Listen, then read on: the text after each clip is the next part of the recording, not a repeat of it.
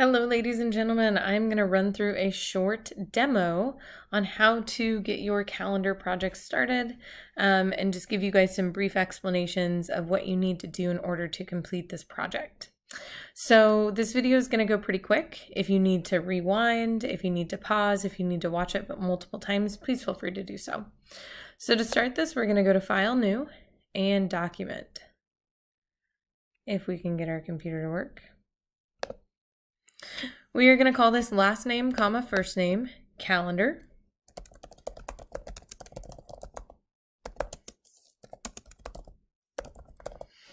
Our dimensions are going to be in inches, so make sure you select inches. Your width will be 11. Your height will be 8.5, which gives you an orientation of landscape, which is this one. The number of pages that you need, oh, wrong one. The number of pages that you need is 26 pages. There are 26 pages in this entire um, project. Make sure that facing pages is not checked. We want to start on page one. We do not want primary text frame. Our columns, we want one. Our gutter is 0.1667 and our margins are 0.25. Make sure that it's all of them are 0.25. And remember, we don't ever mess with the bleed or the slug, so we're going to leave those at zero and we are going to create our new document. So the first thing that we're going to do is we're going to make sure that your workspace is Essentials Classic for now. So we're going to go to Window, Workspace, and Essentials Classic. Um, your first panel that you should see on the right hand side is pages. And remember guys, I am going really quick, so feel free to slow this video down or rewind and pause as much as you need to. So we're going to open up pages. You're going to see at the top, you're going to see an A master and a none, and then you're also going to see all 26 pages within your document. So we're going to start by making a master page. And this master page is going to be for your dates. So we are going to come to this box with the lines in it. And we are going to select New Master. We are going to have it a prefix Master B, that's fine. The name is going to be dates. And then that is the only thing we're going to change. Leave all your other settings the same. So you want to make sure before you start to work that you're not selected on one of these pages, so it's not highlighted in blue, and then what you are selected on, if you need to double click, is the B dates. Something you can do to check to make sure you are on a master page and not on your whole document is come over to your board and try and scroll up and down. If you only see one page, then you're on a master page. If you can see multiple pages, then you are not on the master page. So be sure that you have B dates highlighted and you can only access this one page. So now what we're going to do is we are going to put in guides. These guides are going to help you draw your lines for your calendar side of things. So the guides are used by pulling down from our rulers or pulling, um, pulling from the right from our rulers. Your ruler should be at the top. If you do not see them, I want you to go to View and then you should have an option. Mine says hide rulers because my rulers are on. If your rulers are off, it will say show rulers. So it'll go to view, show rulers. So make sure you can see your rulers. So we're going to be able to do this pretty quickly. So I'm going to come to my top ruler and I'm going to hover over it and you'll notice my cursor changes. I'm looking for that cursor change so that I can drag down from this ruler. I'm going to click in with my mouse and then drag down and just release that blue line anywhere. It doesn't matter where. And when you release it, what you're going to see up in this top corner is you're going to see an X and a Y. You're only going to be able to change the Y because you just have a horizontal line. So we're going to change our horizontal line, our first one. We're going to type in this box 2.2625 and hit enter and it is going to move our first guide to where it needs to be. We're going to come up to our ruler again, click and drag down, release anywhere, and we're going to change that Y. This is going to go to 3.375. Again, um, this is all in your instructions on the assignment, but I just think it's easier to have it visualized and help someone walk you through it. So we're going to take another guide, we're going to drag it down, release it anywhere, and we're going to change this number to 4.5. And I accidentally have a guide here, so I'm going to click on it, I'm going to drag it down, and this one is going to be 5.625. Enter. And one more for our horizontal lines. Click, drag down. We're going to type in 6.75. Now we're going to do our vertical lines. So right now we have our horizontal lines that go across our document to help us draw that grid. So I'm going to come over here to the left side, hover over my ruler, wait for that cursor change, click and drag out and release anywhere. And now because we're working with a vertical line, I'm going to be able to change the X. So I'm going to change this to 1.925. Click and drag again.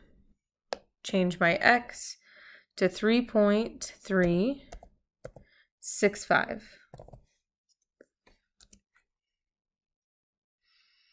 Click and drag out again. This one is 4.8. Click and drag out. This one is 6.225.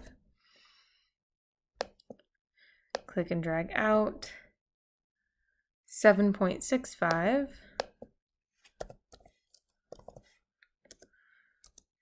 And final, I believe this is the final one, which is 9.0875.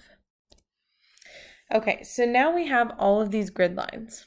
You'll notice that the boxes in the middle are equal sizes, but the boxes on the exterior and the top are a little bit bigger. That's because typically on a calendar, the weekend days are bigger. And then you want a bigger spot at the top for your date and your or your month and your year. Excuse me. so now what we're going to do is we're going to draw our lines. And we're just going to start with really basic lines. And then we're going to go in and make beautiful adjustments to pick the theme we want. So we're going to take our line tool. We are going to start with our horizontal lines and we're going to start at the pink. We are not going to start at the edge of the document because remember, our printer can't print all the way to that edge.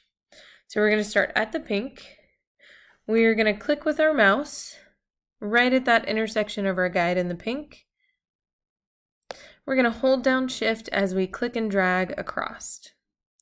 And we're just going to go to the pink, release our mouse, and release shift. If you aren't seeing your line, make sure you come up here and you double check that you have black and that you have a big enough line to be able to see it. So we're going to take our line tool again. We're going to come to our second vertical or horizontal guide. We're going to click right on the pink in the intersection, hold down shift, draw all the way to the pink, release your mouse, release shift. Click on the intersection, hold down your mouse, hold down shift, draw across, release your mouse, release shift. And I'm going to do this for all of my horizontal lines.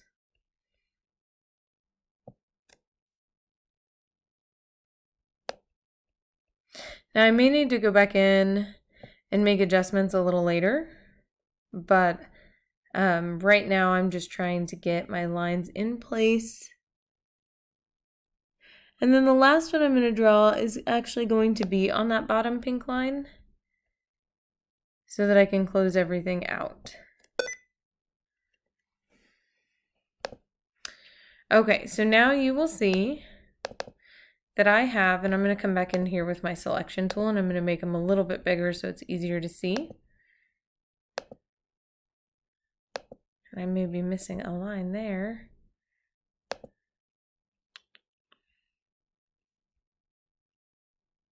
I'm just coming in and clicking on my lines and just trying to change the size of them. And sometimes it's hard to get that line with your mouse.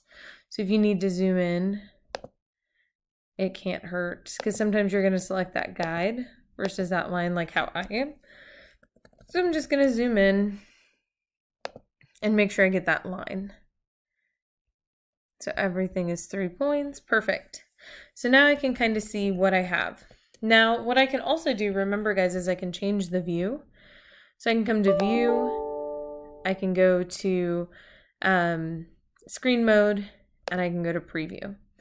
And so now it's a little bit easier to click those lines and change them to three point if I want to. Like I said, later you can go in and you can change the color, you can change the design. We're just getting the basics in to start. So now we're going to do the same thing with our vertical lines, but we're just not going to start at the very top. We want this area here to be open so that we can put our days of the week and then we can put our month and our year. So I'm going to go back to my view, screen mode, and then back to normal.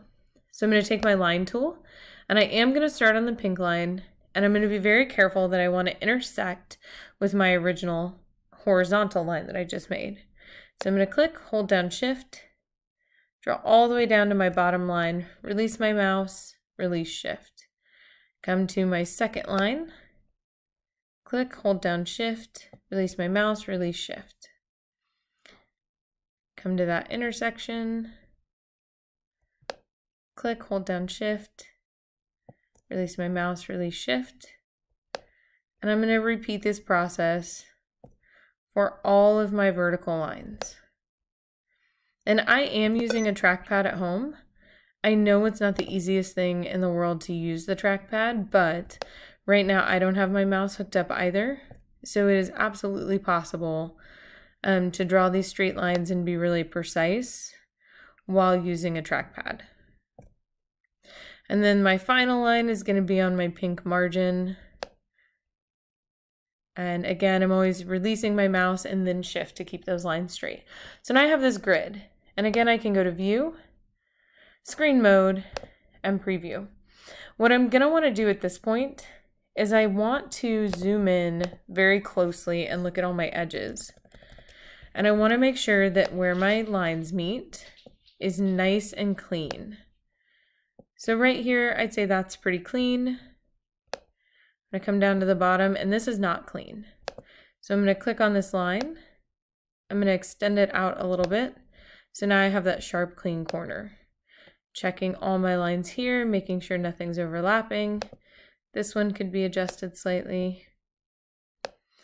Nothing overlapping, everything is clean, no gaps. It all looks good. So that is the start of your master page for your dates. So now what we have to do is we actually have to add in a guide for all of these dates. And this um, can seem a little tedious, but it is not all that bad. But you will find that um, in part two because I can only record 15 minute videos with this program. So I'm going to pause here and then I want you to go in and I want you to watch part two.